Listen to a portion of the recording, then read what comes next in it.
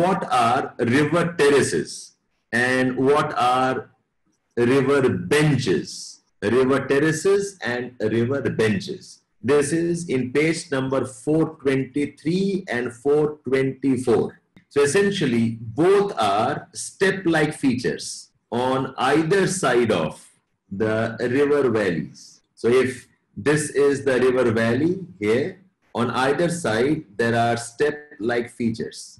On either side, there are step-like features. So something of this kind on both the sides.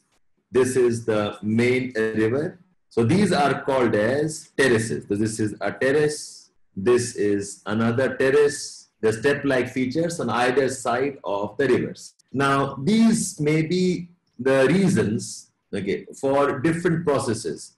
Like for example, they can be the consequence of difference in rock hardness. So maybe this is a softer rock and this is a harder rock. So this may be a harder rock and maybe this is a softer rock. The soft rock has eroded more. Then maybe this again is a harder rock and then we have another softer rock alongside. So if it is because of difference of rock hardness, this is called as the lithological control. Then these are called as structural benches. The harder rocks become flatter, higher surfaces. Whereas if they are related to river erosion due to lateral expansion of the river, then these are called as river terraces.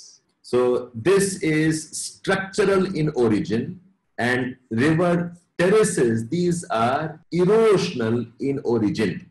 So what we mean by this is, what do we mean by this? If this is the main river, as the river expands, okay, maybe in the floods, the river has cut till here. So this probably has become a kind of a, a river terrace. In bigger floods, maybe then this part has got eroded. Okay, this part has got eroded. So as the river expands, as the river expands, as the river expands, it expands, it can cut terraces. Okay, and along with expansion, there is also valley deepening. So there are two ways how these can be formed. One is that they are the product of difference in the rock hardness.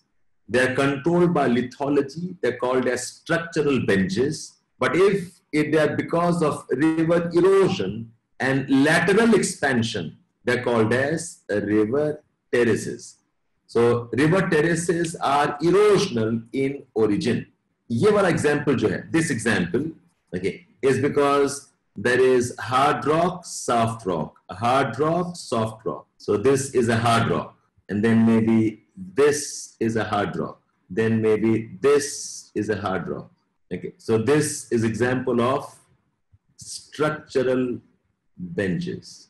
If hard and rock, soft rocks are alternating, the hard rocks remain as the elevated ones, the soft rocks are a cut bit more. Okay, so I hope you understood the difference between structural benches and river terraces. Now, the river terraces can be symmetrical, okay, or they can be asymmetrical. If they are symmetrical, they're called as paired river terraces. अगर symmetrical है they're called as paired river terraces. Paired river terraces, and if they're asymmetrical, okay, asymmetrical can be because of river meandering. Then they're also referred to as ingrown meanders. If they're asymmetrical, asymmetrical because of meandering, they're called as ingrown. जो symmetrical वाले होते हैं on both sides, they're paired and they're symmetrical. These are called as entrenched.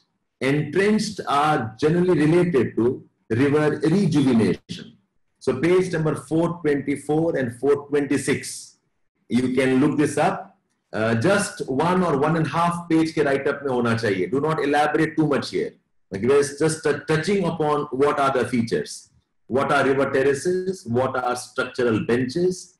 There are step-like features on either side of the river valley. They can be because of rock hardness or lithological control, okay, because of alternate bands of hard and soft rocks. then they are called as structural benches.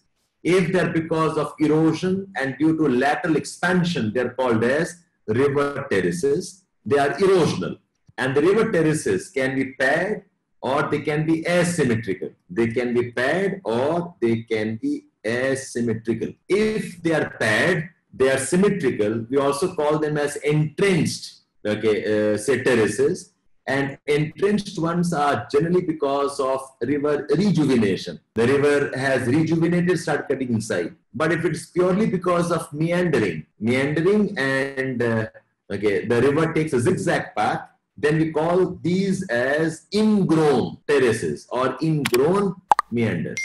So just a one page write up. What are these terms?